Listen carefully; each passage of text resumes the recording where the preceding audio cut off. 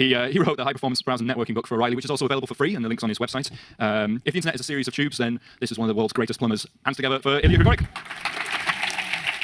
All right, thanks, Jake. Um, all right, so we're going to talk about a little bit about optimizing network performance, and specifically some of the uh, things that we've been doing on the Chrome team for helping deliver better apps. And I guess the first thing that we should ask is, does it matter? Right? What's the problem that we're trying to solve? And uh, Tony Gentilcore, who's actually somewhere here in the room, uh, ran a number of different tests uh, over the last couple of months, where he's been uh, kind of deep diving into where do we spend our time? Like when we try to render a web page, what are the bottlenecks today? And uh, he has a series of these posts on Blink Dev if you guys are interested in kind of low-level guts of how Blink works and, and Chrome kind of end-to-end. -end. But one test to me uh, stood out in particular, and, and, this is a test where we took the top 1 million Alexa sites and just ran them to Chrome and looked at where do we spend our time? Like in terms of the actual uh, main Blink thread, where is the time going? And the big takeaway here is that approximately 70% of the time, we're just basically idling on the network, right? That's that big chunk right here in the blue. And then after that, you, you have all of your usual offenders, things like, well, we got to execute JavaScript, we got to paint pixels, uh, and all the rest, do, do, layouts. So this should not be surprising, right? This is specifically for the first page load. Uh, there's a very different profile, of course, once the page is loaded and you're interacting with the page. That's a, different problem. But this in part is uh, one big problem that we're trying to solve, right? Like how do we make this blue part smaller or just go faster? So there's two takeaways that you can take from this. One is page loads and network uh, are a problem, right? That's 70% of loading the page today. But the good news uh, is that if we can do anything uh, to the network stack in terms of improving that latency and improving performance, it's going to have a significant impact on how we experience the web. So even small fractional wins in this space will in fact have huge uh, performance impact. So kind of with that in mind, what I wanted to do is actually take a look at uh, some of the things that we've been working on internally in Chrome. So kind of looking under the hood. This is not perhaps something that you would be, you know, as a developer, looking at APIs or trying to figure out how to optimize. This is the kind of stuff that Chrome does internally. But we have a very dedicated and awesome performance team uh, working on this stuff. And I wanted to highlight some of the wins that we had over the last year, uh, and also kind of uh, such that you know what we're working on and also highlight uh, the potential areas for improvement in the future. And after that, we're going to look at some of the new additions, specifically kind of low-level network plumbing stuff that we support in Chrome. So things like SPDY, some uh, notes about QUIC, uh, and other things. And then finally, we talk about measurement, right? Uh, of course, performance is a big theme throughout this entire event, and we want to make sure that we give you the tools to measure performance in the best way possible, right? You should be, you should be able to measure anything you need uh, in the stack. So uh, first, let's actually do a quick survey. This is going to be kind of all over the map, but uh, I want to highlight a few things. First, in uh, Chrome 26, uh, we, we, landed the new asynchronous DNS resolver, uh, which is kind of low-level plumbing stuff. So we're no longer relying on the operating system DNS resolver. We actually have our own. This is available on today. It's, it's, available on Windows, Mac, and Chrome OS. This is not yet on mobile. Hopefully, it will be. So why do we why do we want to do this? Well, first of all, it gives us a lot more control. we can do a lot smarter strategies for how we resol resolve names and other things. And here some numbers, performance numbers, in terms of what we've seen based on since we've landed M26. It took us a couple of tries to actually kind of get the performance numbers as good as they are, but you can see that there's significant wins across the board. You know, for things like uh, Chrome OS, uh, we've reduced the DNS resolution time significantly, 36%. And not only that, but we're also measuring the Resolve plus TCP Connect, and you can see that it's, you know, there are wins across the board. And of course, some of these are platform specific. Some platforms just do a better job of implementing their DNS resolvers in the first place. But the cool thing uh, is that we can actually now kind of take control, now that we've got the basic plumbing working, uh, we can take control and do smarter things. So for example, we can uh, different resolutions for IPv6 and IPv4. We're now actually doing adaptive retries, so we actually remember which DNS servers uh, we've used. So we, we can do a better job of making these resolutions faster in the future. And uh, this is definitely a space for uh, a lot of improvement. Uh, and, and, also kind of you know, subtle things like providing better user error pages, right? Uh, before you would just get a failed timeout uh, from the DNS resolution, and we just kind of like, we give up, we have no idea, we can't give any useful feedback to the user. Now we can go much, much further. So that's pretty cool. Moving on, in M27, uh, we landed this big and important improvement, which is we completely rewrote how we schedule resources, right? It's one thing for us to get the HTML bytes, we then discover the resources, and then we need to figure out how do we schedule them efficiently on the wire, like we care about JavaScript before images and, and other things. And the big change that we've done in there in, in, in M27 is we re replaced that um, scheduler, and we also started focusing on perceived performance. So instead of just measuring the page load time, we started measuring things like speed index. So what kind of optimizations we can do in resource scheduler to improve speed index. In fact, you know, we've made decisions where we've intentionally chosen speed index over uh, page load time or onload. So there are changes that have gone in where we've regressed in some cases onload time, but we've improved speed index because we think that perceived performance, getting useful pixels on the screen, uh, is uh, a win for the user. And one interesting takeaway from uh, this work that was done in M27 was that realized that a lot of pages were actually competing for bandwidth unnecessarily. So they were trying to download too many things. Uh, we've gotten so good at sharding our assets that uh, it's actually backfiring on a lot of sites.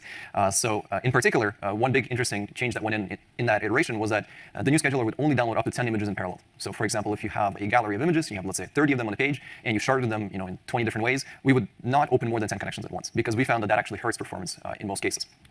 So uh, you know, if you're developing your site today, uh, Chrome will limit you to 10 image downloads, but in other browsers, you'll still have that problem. Um, I'm not sure what exact scheduling, scheduling algorithms they're using, but perhaps something you should consider on your site, right? There is such thing as uh, oversharding uh, your site. Later in M28, speaking of perceived performance, we've also improved uh, the SPDY performance quite a bit. So the, the change here is actually uh, pretty awesome and pretty trivial in that now that we have control over the resource scheduler, we said, look, if you're using SPDY, we have a much better way to schedule resources, uh, which is we know the priority, we can send that priority to the server, the server can do the right thing. So we won't delay any resource scheduling on the client, which is kind of this like fake latency, or not fake, unnecessary latency that we're otherwise introducing. So if you're using SPDY, this is a, a nice performance win because it allows us once again get those pixels earlier, uh, visible earlier on the screen. So uh, if you haven't already, I definitely encourage you to look into playing with SPDY. So if you're using Apache, you can install mod_spdy, Nginx and other servers support it as well. And actually, we'll, we'll come back to SPDY uh, a little bit later. Uh, in M30, there's been more, yet more improvements to the resource scheduler. Uh, we keep improving uh, and iterating on all of these different strategies. Uh, one interesting uh, kind of takeaway that we had in this iteration was that we actually uh, started distinguishing between optimizing for site, the, the, popular sites versus sites in the tail, right? There's different ways that sites are constructed in terms of kind of patterns that they use, how they lay out the resources, and all the rest. And uh, this change, or this iteration in particular, actually helped quite a bit uh, in terms of uh, accelerating uh, the sites in a long tail. And if you think about a 10% improvement in firing the onload, right? This is just like one Chrome iteration, uh, revision, is huge, right? Like that's, that's a 10% win in onload and a 9% improvement in speed index. So there's just faster pixels on the screen. So these are impressive numbers. And I think what's most exciting for me is if, if we look forward, you know, based on the work that we have in the pipeline now, and project that a little bit, we see, you know, significant improvements that we can still make to these algorithms. So right now, at least, uh, based on current code that we have, uh, you can expect more wins uh, rolling out to our users. So this is great. Like this is, as far as I'm concerned, this is free performance, right? Like the apps, it's the same apps, they're just rendering faster because we're doing a better job of how we schedule those uh, resources in Chrome. So that's uh, that's pretty exciting. Um, another huge uh, huge win that's coming and that, that's available at, on Android today is what we're calling the simple cache. So one of the problems that we realized that we had on uh, Android and mobile phones in particular is that uh, in order for us to dispatch uh, to dispatch a network request, we actually have to do a number of different context switches. Like we would go from the main thread to an I/O thread to we do another jump. We would always do a check on the file system, uh, which in itself can take quite a bit of time. And the idea behind simple cache is to try to simplify that, as the name implies. Uh, to the extent that we can, um, and ideally avoid any context switches and going to disk. So that should help quite a bit in terms of the actual uh, performance of the simple cache. And here's some uh, early numbers. These look very, very good. Uh, the blue line on the bottom is the original, and uh, what you see here is the latency, right? So you kind of had this like long tail distribution where basically every request incurred a minimum of several milliseconds, but then you had this long tail where it wasn't atypical for a request to take 50 milliseconds, right, before we could even dispatch it, because we had to kind of do a couple of thread hops and then check disk or check flash in this case and kind of bubble that back up. With the new simple cache, basically we can just complete it immediately, most of the requests. Every once in a while, you know, we still have uh, some delays, but it's th this is the type of line where you want to see on all of your performance charts. And this is quite amazing because once we have the simple cache, uh, this is, uh, based on our measurements, this has improved all HTTP transfers, the speed of these transfers in terms of the time from the first request byte that we want to send to completion by 10%, which, if you think about it, is massive, right? And not only that, but in M31, we're seeing 7% uh, page load time improvement. So this is simply eliminating that extra latency at the beginning of, of each and every request. And uh, once again, there's more work going into M32, and we hope that we can improve this even further. So this is, this is huge, and this will be a, a, an awesome win for mobile browsers.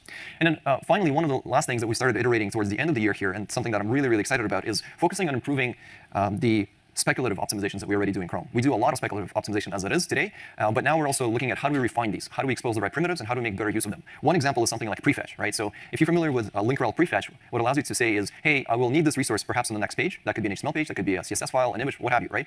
Please fetch this for me, such that I don't have to fetch that, uh, or I can just fetch it out of the cache when the user initiates that load. One of the gotchas there was if that request did not complete in time for the next navigation, it would get canceled. So you kind of incur the double download, and it, like, it just didn't make sense. So for example, we have this new patch that's, uh, that's in. It's not available in, in Canary yet, but it's coming soon called detachable prefetch, which will actually keep the prefetch alive even as you navigate away, such that you can still make use of that resource once you get to your destination. So that's pretty awesome. And this will also apply to other things like pre-renders uh, and uh, other types of improvements.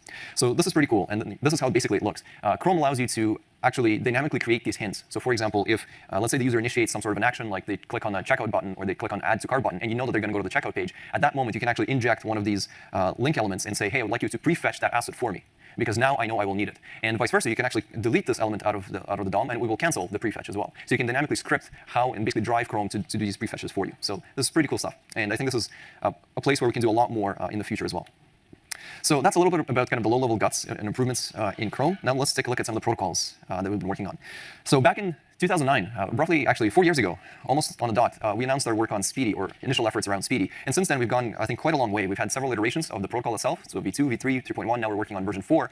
And uh, that actually became the foundation of HTTP2, which is pretty exciting. And, and HTTP2 work in itself is progressing quite rapidly, and I'm really excited about that. So today, we actually have both SPDY and HTTP2 um, support in Chrome, although HTTP2 is under a flag, but it is there. It's something that we're iterating on. And then once HTTP2, I know this is a common question, once HTTP2 is marked as ready, as a standard, we will just switch over to HTTP2. So think of SPDY as kind of like an experimental ground for us to try different ideas and feed them back into the HTTP2 spec, right? It's like, it'd be great if we had this feature. Let's go and try and implement that feature.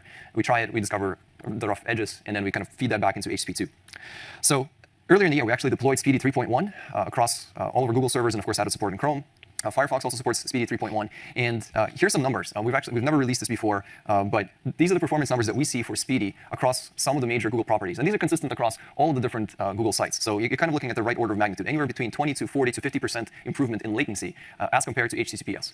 And in some cases, we're actually able, so this, even despite the fact that uh, we have these extra uh, handshake round trips and all the rest in TLS, uh, oftentimes we actually end up going faster than just vanilla HTTP as well, which is of course the point of this whole exercise to begin with. So this is really exciting, and I guess the, the important bit here is also that not only is it helping the median, which is of course what you'd like to see, but it's also consistently helping all of our users, the ones on fast connections, and especially so for the ones that are on slow connections, or the ones with the high RTT times, which is especially relevant for things like mobile, right, where RTTs are definitely higher. So this is really exciting. This is very uh, promising, and I hope that this will help kind of drive the HTTP2 adoption as well.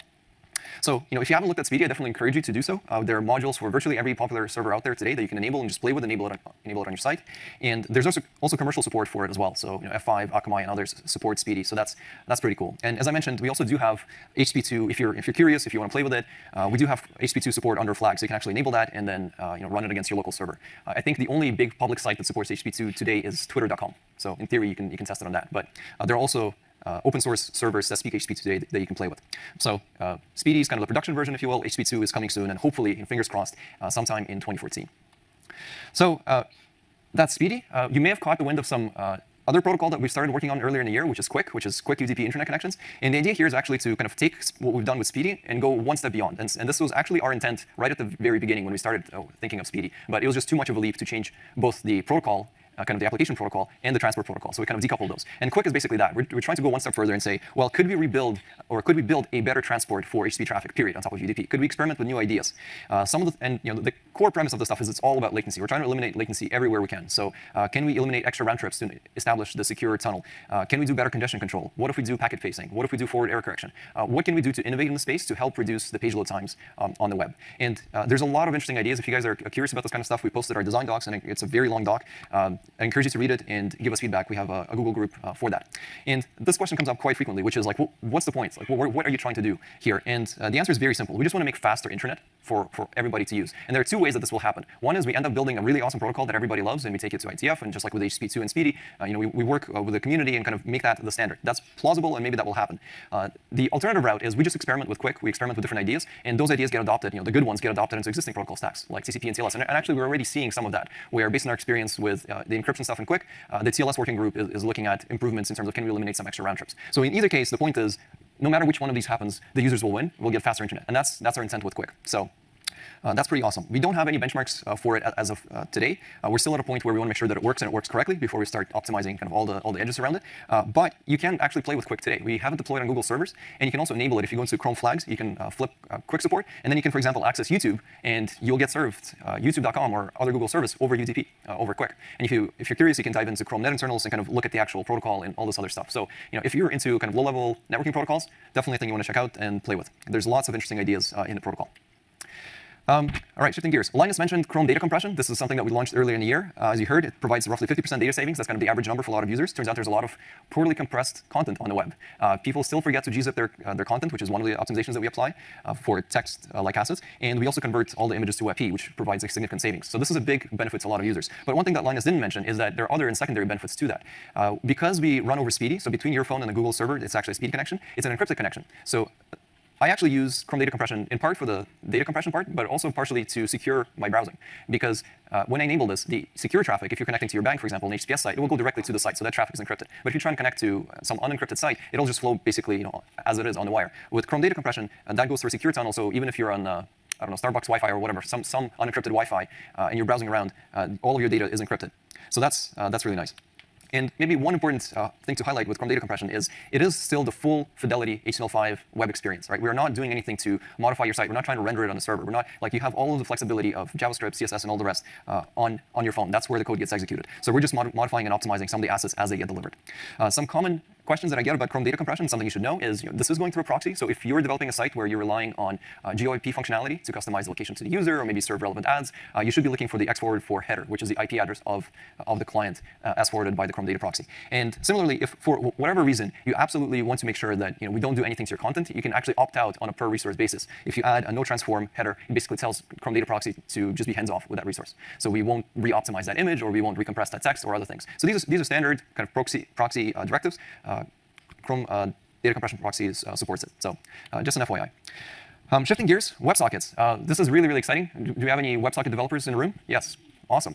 So WebSocket compression is going to be live in M32, uh, which is a long overdue feature. Like one of the gotchas with WebSockets was that you could transfer binary and text, but text would always go uh, as uncompressed uh, in both directions. Uh, now that we have the spec up to date and we, we already have uh, the code in, in, Chrome, you can actually negotiate uh, the deflate compression to apply in both directions. And the server can selectively compress any given frame. And the client, as of today, Chrome will compress every single frame going, going out from your mobile device or from your desktop device. And I'm not going to go into details here, but we also actually, the spec provides a number of different parameters to customize how the compression will be done. For example, the, the size of the sliding windows. Essentially, you can control the resources used on your server and on your client, uh, plus some other flags. So this is really, really exciting because this has definitely been a sore point for, uh, for WebSockets. Uh, we heard about WebRTC and data channel. Uh, the way I think about data channel is basically WebSocket, but over UDP and P2P, right? So we can communicate directly between devices. We don't have to go uh, through an intermediary like, like a server. And uh, data channel in M31 has now officially switched to SCTP protocol. So previously we were using, we were using RTP data channels, and uh, you know, that was the reason for some of the incompatibilities with some of the other vendors. But as of M31, SCTP is the default, and we will aggressively remove uh, support for RTP data channels. So if you're using data channels today, this is something you want to revisit. Uh, and if you're not familiar with data channels, I encourage you to uh, check out the links. I'll, I'll, post the slides later for you know, how this works and why this is awesome, because it allows you to define things like uh, fire and forget semantics, you know, don't retransmit. So it's a really nice transport for uh, doing a low latency uh, data exchange.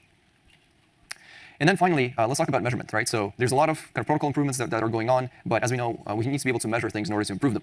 So of course, we're all familiar with navigation timing, or I hope we are. You know, most people here expect would be. Uh, you can get detailed low-level stats uh, about how long did each connection take in terms of DNS time, TCP time, and all the other things. You can throw that into your analytics solution here. I'm showing you Google Analytics, which allows you to segment this data to say, well, I want to look at my mobile users versus desktop. You can uh, segment it by any other variable you define, like has a user clicked the checkout button or they registered, etc. This is all great. The one gotcha with this is this is only for the main page, right? What about the other 85 resources or 100 resources that you have on your page? How are those performing?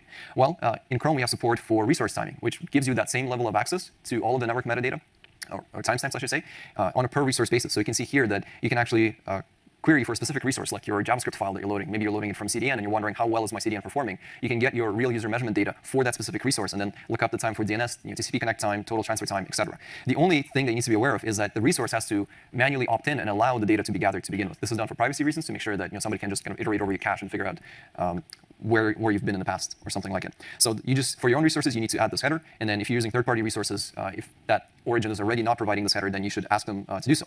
Because you know, here's one example where I have a web font on my site. Uh, web fonts have uh, web fonts delay when the text gets painted. So the question is, you know, how's in this case, this is a Google CDN. How's Google CDN performing in terms of serving the actual font? Is it hurting my users? Well, now I can actually grab that data from resource timing, just uh, as I showed you a few slides ago, and we can just pump that into Google Analytics. Here you can see that I'm tracking the DNS, TCP, and transfer times, and it turns out that my fonts, uh, the fonts coming from uh, Google CDN, at least for my site, are being loaded, uh, in this case, within 150 milliseconds, which to me was an acceptable uh, time, and that was, that was fine for me. But you can now think about using this sort of data to define third-party SLAs, right? You rely on third-party widgets. You can say, well, your widgets must load in X amount of time, uh, et cetera. You can actually track this with resource timing, which is pretty awesome. So as a quick recap, uh, we covered a lot of ground. There's a new DNS resolver in Chrome, uh, which is you know, double-digit performance improvement in actual DNS resolutions. The new scheduler is definitely something we're really excited about. We've already seen huge improvements there. Uh, 10 and 20% improvement in actual speed index and page load times. The simple cache stuff is a huge win on, on mobile, and I'm really excited to have that out there. And then, uh, you know, moving forward, I'm hoping that we can make the pre-resolve and pre-fetch and the pre-render stuff much, much smarter. And uh, you saw the SPDY wins, right? So all of these things are incremental, right? 10% here, 20% there. Before you know it, you're actually saving hundreds of milliseconds and sometimes seconds uh, for the user, which is a huge win. And some of these things you guys need to optimize for. You know, these are the things where you need to install SPDY, you need to configure SPDY, you need to make sure that your stacks are configured correctly. Um, and in other cases, it's just us doing a better job of scheduling this kind of stuff. And then finally, you know, if you haven't already, I definitely encourage you to look at things like nav timing, user timing, and resource timing. So I talked about resource timing. User timing allows you to measure any chunk of code and just uh, get high resolution timestamps uh, for, you know, this is when I started, this is when I ended, and beacon that back to your server. So all these things are supported in Chrome, and uh, you know, what you can measure, you can optimize. So with that, I'll, I'll leave you the uh, link to the slides. Thank you.